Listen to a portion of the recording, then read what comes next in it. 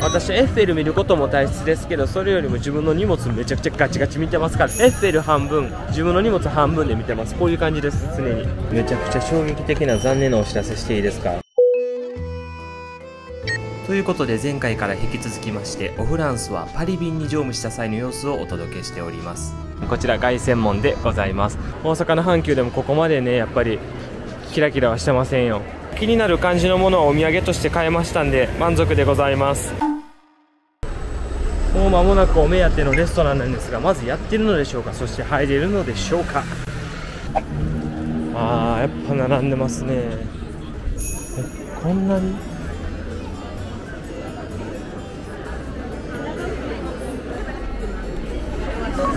ここなんですけどそう。予想以上の並びでした。前はこんな並んでなかったんやけど。メニューもね結構リーズナブルなんですよ。それは並びますよみんな。まずここに並んでますやん人が。でこっからさらに先に列があってこれは無理やな。じゃあどこ行こう？ほら。ここにもこんだけ並んでるんですよ人が。いやこれみんなほんまに並ぶ気？明日の朝ですよ。朝ごはんですよこれ。ここまで並んでるやん。これは異常やわ。前回めっちゃラッキーやったんすね。すぐ入りましたもん。割と。10分ぐらいしか待たんかったけど。まあ今ねディナータイム7時ということも早起きてたらいけたでしょうけどこれは無理やわ。はい諦めます。のなんか自分だけお祭りやってますみたいな感じで。唐揚げとかラーメンとか一心ってラーメン屋さんか。めっちゃ並んでますよ。ということでさっきの第一候補のレストランはもうあれは待てませんので、えーもう一個ね前行ったことあるレストランで雰囲気よくってお値段もよくって美味しかったなって記憶してるところがあってそこもまあ歩いて今から10分ぐらいのところなんですけどそっちも行ってみたいと思うけどそっちももしかしたらいっぱいかもしれない。今日言ってもねあの土曜日です。土曜日の今7時過ぎなんでそらいっぱいですわね。はい。私が時間をミスっております。もっとねさっきご飯行けばよかったんですけど買い物に明け暮れてしまいました。まあとりあえず行ってみましょう。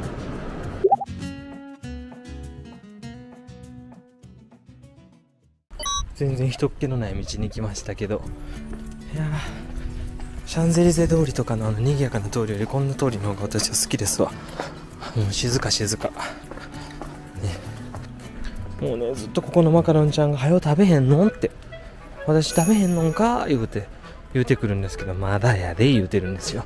さっきちょっと味のね塩っ気のあるもん食べさせてや言うて。それで下味をねあの舌をね塩っ気してから甘いのをいただくんですよ。それをねマカロンちゃんまだ分かってないんですよね。今こんな喉カラッカラの時にねお腹空いてる時に塩っ気が欲しいなと思ってる時にマカロンちゃん行ったらさあんたのポテンシャル台無しやん。もう塩っ気のあるもん食べて喉も満たされてさあ最後別腹で甘いも行きたいな。そんな時に登場するのがあんたでしょうよ。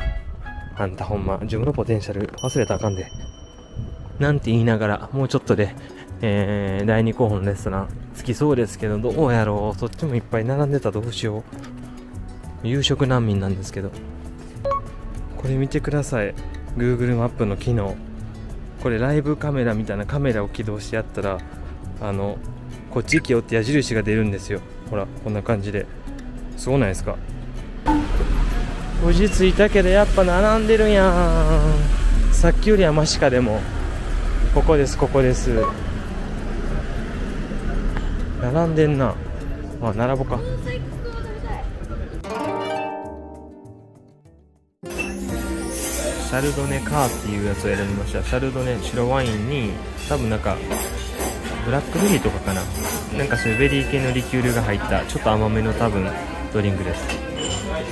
さあということで一人宴開始でございます。一人でご飯食べるので慣れたもんでございますよ。このレストランで一人やったのは私だけでございましたけれども、まあ、ワインを飲んでも味がわからないので感想としてはお酒やなという感想でございます。お料理が届くまで空腹をねパンでしのぎたいと思います。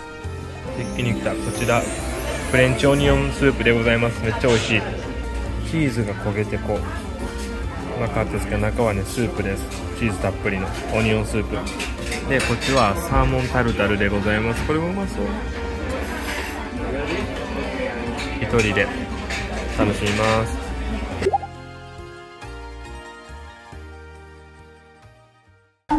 はい夜ご飯美味しくいただきました。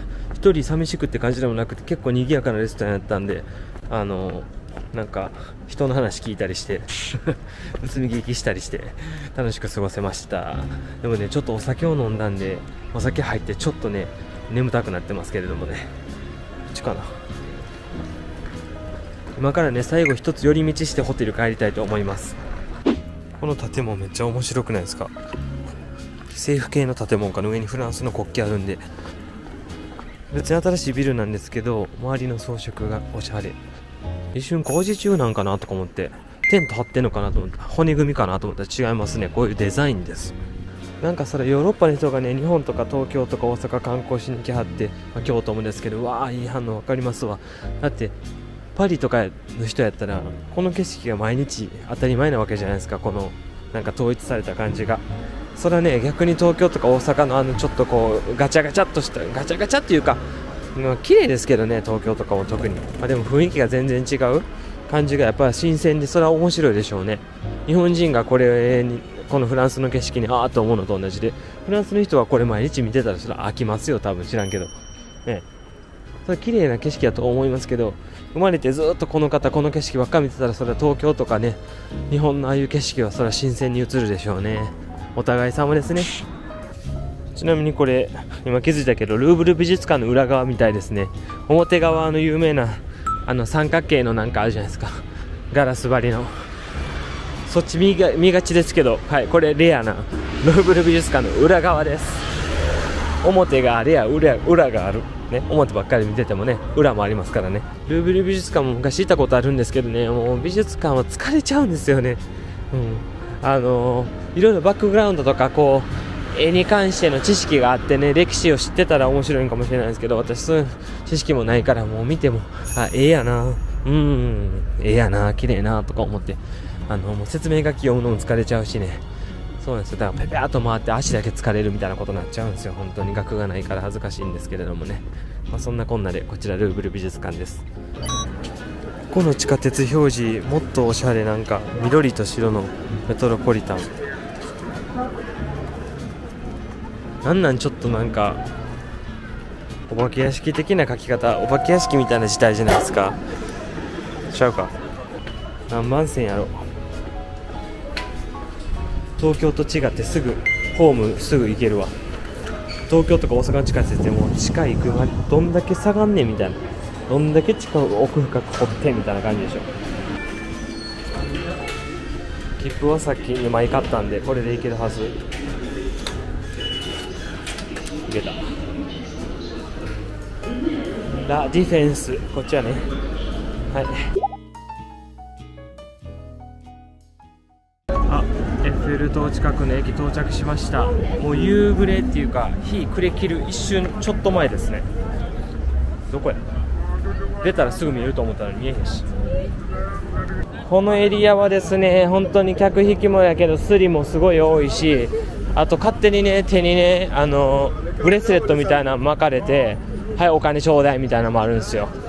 はいそれはね前回学んだんです。まあされてはないけどね。よくそれトラブルになってあはいはい思い出した。でここ左手がもう真正面タワー見えるはずです。まあ、その手前にもちっちゃいエッフェルタワーここにいっぱい見えてますけどね、はい、このキラキラしてるの。全部エッフェルタワーですけど。ああ見えた。はいエッフェルです。エッフェル師匠ですね。東京タワーよりも先輩ということでございまして。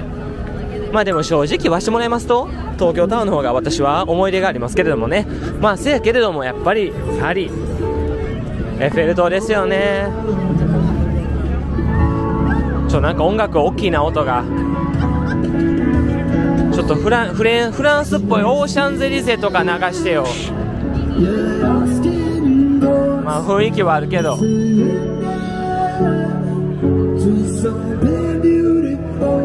さあここ皆さんスリ気をつけてください。もう無防備な人がたくさんいます。私はがっつり掴んでますから。はい。あでも夕暮れねまだライトアップ前ですけど綺麗綺麗すんごい人。すんすんごい人でございます。もうすんごい人っていうかすんごい人がいます。えらいこっちゃえらいこっちゃ。ねえすごいすごい。はい恒例のミッキーマウス著作権得てないでしょっていうミッキーマウスがいたりとかいろいろいますけれども。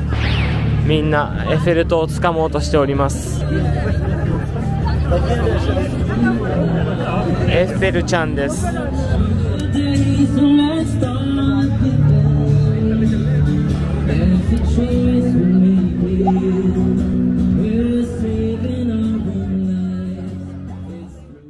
ということですんごい人ですよお祭り騒ぎやえーと、こっち側は公園で向こう側ですねエッフェル塔反対側も芝生があるような公園でそこもフォトジェニックやなんや言われておりましてインスタグラムを撮る若者たちが集まるなんていう話も聞きますけれども、まあ、そちら側まで歩いていきたいと思いますが。ねやっぱりなんかね雰囲気がねありますね。ワンちゃん。ワンちゃんエッフェルタワーやでこれ分かってるか言うて。知らんがなな人間が勝手にエッフェルタワー言うてるんやからな。知るよしもない。わそんなもん。私エッフェル見ることも大切ですけどそれよりも自分の荷物めちゃくちゃガチガチ見てますからエッフェルをエッフェル半分自分の荷物半分で見てます。こういう感じです常に。で前見てなくてぶつかるっていうね。なんなんまためっちゃおもろいの見つけたんですけどなんでなんかたまこれ何？今のイベント？ちょっと待ってくださいね。めっちゃおもろいイベント見つけたんでちょっと待ってください。近く行くんで。ここさっきのエッフェルタワー見えるとこですよ。もうすそこエッフェル塔です。ちょっと切れ見えへんけど。そのエッフェル塔の麓に何があるかというと謎のフォントで「花見」と書いてあります。なんなんこれ？日本のお寺の入り口みたいになってるしイベントかな？花火イベントやってます。全然花見の季節ちゃうし。8月ですけど。こう100%日本イベントですよね。おもろ。こういうのよく合うんですよ。この海外で見る日本のやつってフォントが面白い。日本語のフォントが日本では見えへん。フォントなんですよ。唐揚げややっぱり人気ですね。唐揚げやら。なんで花見にしたんやろほんまに。夏祭りとかにすりゃよかったのに。花見の時期ちゃうし。いろいろあるみたいですよ。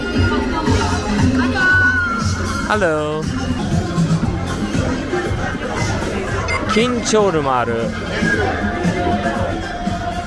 えー、結構本格的にいろんなお店がありますわ。しかも人気ですよ。ローカルの人か観光客かは知らんけど。Alright, 3, 2, 1, smile.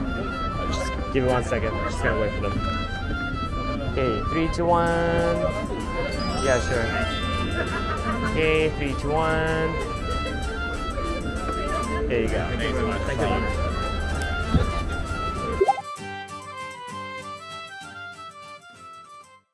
あちょ日本のイベントに聞い取られてる間にお花見イベントに聞い取られてる間にあれしてるやないの。ライトアップしてるやないの。いつの間に言うてよ。おったのに。あやっぱライトアップしたら綺麗ですね。エッフェルちゃん久しぶりちゃう言うて。ねえ。花の都パリ。水の都大阪。とかね。アキンドの街大阪。とかあと何やろ。商人の街大阪。大阪のしか出てけへん。あと何があるっけ。えー、えー、何やろ。水の都ベネチアとか。どんだけ水の都とか花の都あんねん。あ結婚式のお写真でしょうか？どうぞお幸せに。そらええ写真ですわこれ。ドドンやもん。ドドンやから。こんだけ観光スポットやともう世界の観光大観光地やとね別にカメラ回して喋るのも恥ずかしくなくなりますわ。誰もそんな気にしてない。もうみんなエッフェル塔しか見てないから。本物のエッフェル塔の手前にこうエッフェルとチビエッフェルちゃんがいっぱいいるんですね。そして見えてまいりましたこちらセーヌ川でございますけれどもね。セーヌ川を越えますと実際エッフェルタワーエッフェル塔の下に下を通れるわけですね。ほんで反対側あの芝生の公園みたいなよくフォトジェニックな場所ですね。行けます。すんごい混雑。まあまあまあまあ。東京タワーとどっちが大きいんやろちょっと後で調べよう。東京タワー確か333メートルちゃいましたっけ？東京タワーの方が大きく感じるけれどもどうやら美味しそうな肉焼いてる。え何？なんかもう美味しそうな肉の匂いプンプンする。はい。ここ今セーヌ川の上にかかる橋ですね。ちょっとセーヌ川もご覧いただこうと思いますけれどもこんな感じ。はい。川です。川ですね。そのほとりにあるのがエッフェル塔。久々のエッフェルちゃんですわ。久しぶりやな自分な言ってね。待ってめっちゃおもろいの見っけた。カメラぐるんぐるん回るやつ。何これ。世界の YouTuber 絶対欲しいやろこれ。こっち側の川の下ではまたお祭り騒ぎみたいな感じで。はい。すごい人いますね。エッフェル塔のね上にはまだ実は上がったことなくって。前来た時もものすごい人やったかなんかで多分行かんかったんですよね。今日ももし並ばんでいいんやったら行ってみたいなとは思うんですけど絶対こんだけの人いたら並ぶでしょうね。わちゃわちゃしてる。エッフェル塔の周りわちゃわちゃしてる。踊ってる人おる。車引かれんで。わちゃわちゃしてるわ。このエッフェル塔ねやっぱ骨組みが綺麗ですよね。エッフェル塔のエントリーはこちらですよって書いてるんですけども。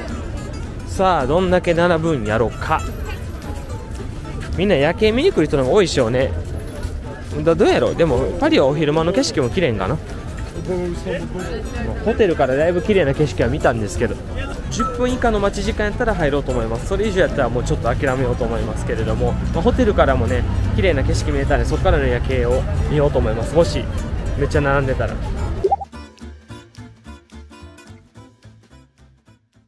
お？どうやどうや？もうっていうかやってない的な？やってますか？どそもそも。でも夜景見に来る人絶対いますよね。っていうかセルフィースティック持ってる人昔めちゃくちゃいたのにだいぶ減りましたよね。みんなめちゃくちゃセルフィースティック一時期持ってる時期ありましたよね。これ入り口あこれ出口か。で誰も出てけへんやん。どこで買おうかななりますよこのキラキラエッフェル塔ミニエッフェル塔いろんなとこで同じやつ売ってるんで。どこで買っても一緒やと思うんですけどどこで買おうかなみたいな。愛想のいいお兄ちゃんから買おうかなみたいなやっぱなるんですかね。あとはもうトークで勝負みたいな。愛想とトークで勝負。なんかちょっと日本の夏祭りみたいな屋台みたいなに香りがして懐かしいんですけどちょっと日本を感じる。さあそれではね、えー、河内温度でも歌いましょうかということでね。歌いませんけど。あーここ入り口ですわ。並んでます。かも多分もうみんなチケット持ってはる系かな？知らんけど。ああこれは無理や。こりゃ無理だ。めちゃんこ並んでます。10分とかはいしちゃいますわこれも。明日の朝でさ皆さん朝焼けに並んでるんですか？言うて。あこれあかん。ってなって前回も上上がったことないんですよね。まあ、結局今回もちょっとね上がって景色をお伝えしたいところではあるんですがすみません。体力が持ちませんので諦めたいと思います。こりゃ無理やわまあでもねタワーってねタワーを見るのが綺麗なわけで、まあ、上から見る景色も綺麗んですけど私はこのエッフェルタワーを見たい。君を見たい。君から見る景色もいいけど君を見たい。ということです。エッフェルちゃんの一番美しい角度にやってまいりました。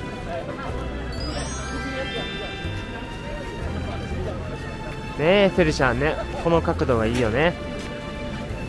ちょっとエフェルちゃんごめんなさいね。ちょっと下失礼しますよ。はい。ここねこんな角度あんまりテレビで見ることないんじゃないでしょうか。ちょうどガラスで見えへんけどエッフェル塔のね内側こんな感じになっておりますよ。通天閣と似てますね。規模が全然違うけど。でもやっぱ近くで見たらでかいわ。近くで見ためっちゃでかい。東京タワーよりでかいな。そんな気がしてきた。この下の部分は。でこっち側ですね。さっき地下鉄降りてすぐのとこと反対側。エッフェル塔の反対側に来たんですけどここが芝生になっておりましてここでみんな座ってねゴザ敷いてフォトジェニックな写真を撮ったり生ハム食べたりそういうことするわけでございますね。生ハム食べてる人は今現在は見当たりません。がでもねピクニック的な感じでなんか飲み物やらお菓子果物チーズやらハムやら食べてる人いますわやっぱり、うん。だってねこの真正面何かっていうところですから何回も見て一緒ですけどはいこれですからね。うおぬかるみ踏んじゃった。すごい人。これなんか1時間に1回だけピカピカピカっとシャンパンなんちゅうシャンパンなんちゃら言うて光るんですよね。ピカピカっと。それをみんな待ってるんや思いますわすごい人ほんまに。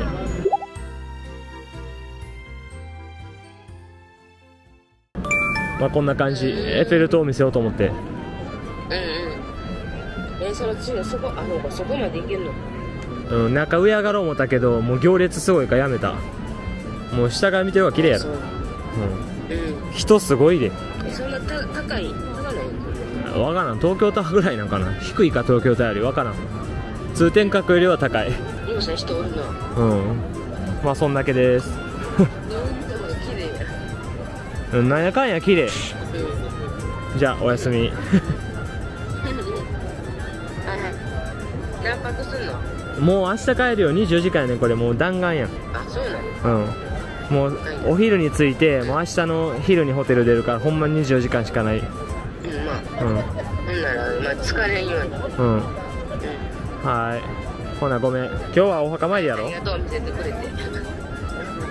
そうあお墓参りも行ってきたよ。あ行ったん？今日は？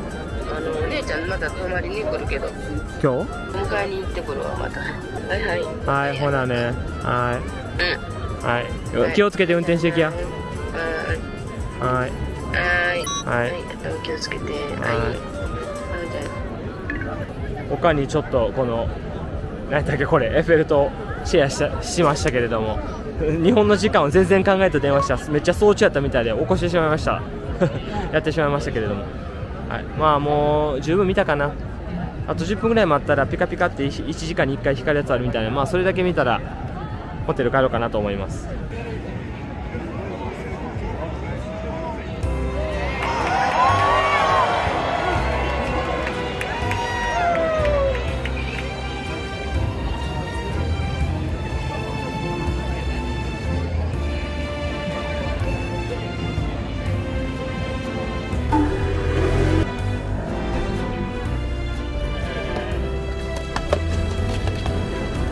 めちゃくちゃ衝撃的な残念なお知らせしていいですか？こんなことなってる。泣けるんですけど。形ぐちゃぐちゃ。でも食べたら一緒。おい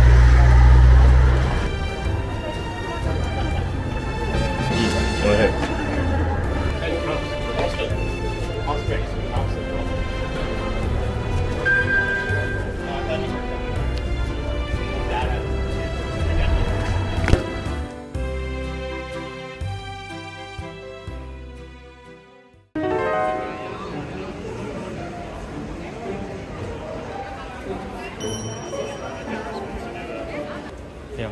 まこんなシステム地下鉄 き見たことない。みんな言うてました並んでる人。これはちょっと東京とか日本の地下鉄勉強してください。もうあかんわ。改善っていうのはやっぱ大切ですね。もうねなんか知らんけど改札1個しか動いてるのかなんか知らんけどもう普通のただの駅ですよ。別に中が混雑してるから入場規制してるわけでもなくただゲートが動かへんからっていうことですんごい人が滞留してるんですよあそこ。危険やし。いやー電車来てるし。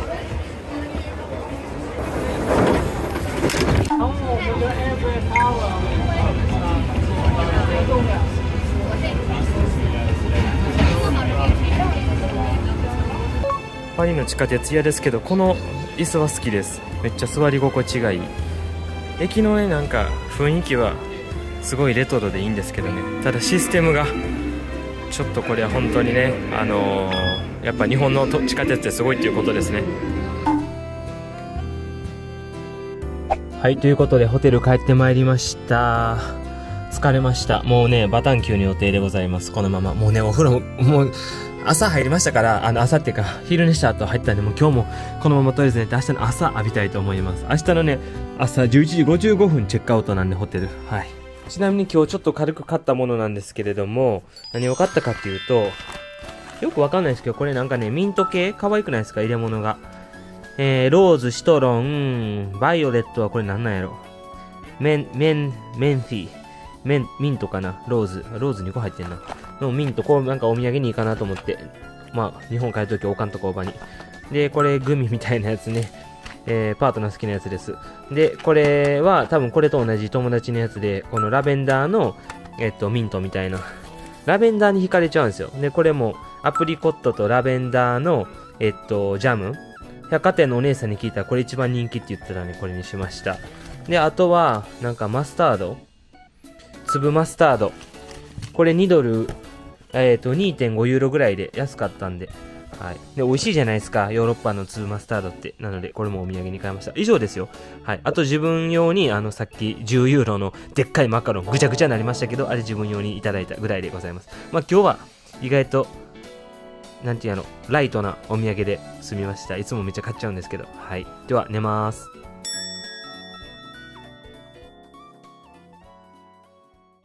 おはようございます。パリの朝でございまして、今、朝夕かもう、土早朝、6時前、5時58分とかそんな感じでございます。本日の、えー、日の出さっき調べたんですが、6時半とかですって、まだ30分ぐらい。まあでもちょっとね、えー、明るい、えー、空が白んできておりますけれどもうね、えー、5時ぐらいに目が覚めました。昨日まあ11時ぐらいにバタンキューしまして、帰ってもすぐ布団入って、で、まあ5時ぐらいに起きて、まあめちゃ寝たって感じです。ちょっと早く起きすぎてますけど。でも起きてから1時間ぐらいでずっとね、パリジェンヌって何なんって思って、パリジェンヌってよう言うじゃないですか。パリジェンヌ何なん知らんけどと思いながらね。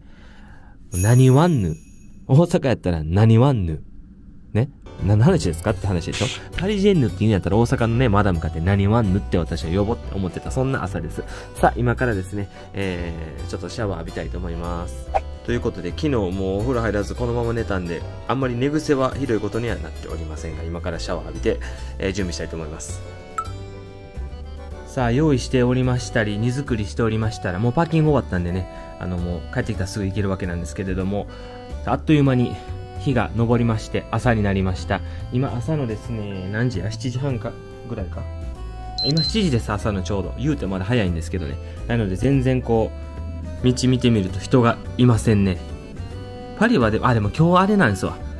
あのー、日曜日になります。パリの時間に日曜日なので、もともと朝7時からそんなで歩く人もいないかって感じですよね。